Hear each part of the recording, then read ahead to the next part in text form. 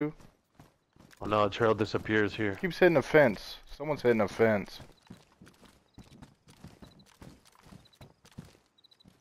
It had to have been him. He's trying to draw us out so this guy can get position again. He's still at this corner.